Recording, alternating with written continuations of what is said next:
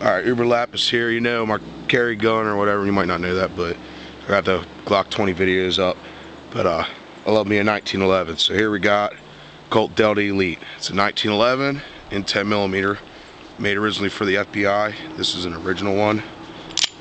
Let's give her a shot here.